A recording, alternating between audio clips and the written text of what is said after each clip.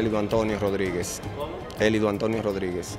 ¿Qué, ¿Cuál es tu situación? Bueno, mi situación es que yo me encontraba en mi casa y hay unas personas de la comunidad de allá que, que me acusan o no sé, me pusieron supuestamente una querella, que por una varilla, una carretilla, qué sé yo, que se le perdieron a ellos y yo no sé de eso. Yo vivo frente o cerca de la persona porque yo en realidad no conozco a la persona que... ¿En qué barrio es? Eso es en Rabo Chivo, en la calle 8 con 13. Yo tengo una propiedad ahí que me la entregó mi mamá y, y yo eh, tengo el local alquilado y me pagan renta de eso, ¿tú me entiendes?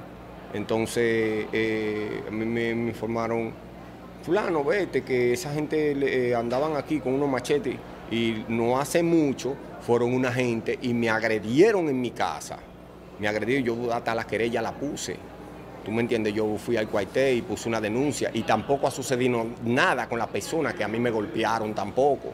Tú me entiendes, acusándome de algo sin yo saber de nada. Porque si yo hubiese sabido de algo, ellos tenían que venir aquí al cuartel y poner la querella.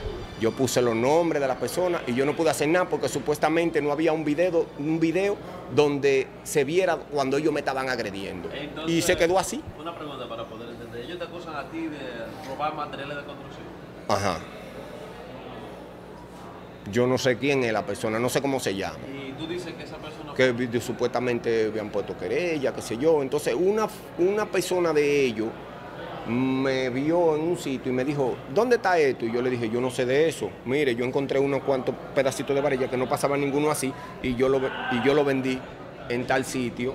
Y la persona le dijo, sí, vea, eso fue lo que vendió aquí. Entonces, porque tú vienes por aquí, O porque yo, ellos eh, supuestamente andan gente atrás de mí con pistola y machete y bate, que ellos supuestamente le dieron dinero para que me agredieran, ¿me entiendes? Y supuestamente, supuestamente también ellos le supuestamente dijeron que eh, la, la persona le había dado dinero a la policía para que me agredieran cuando me vieran y me agarraran y me maltrataran.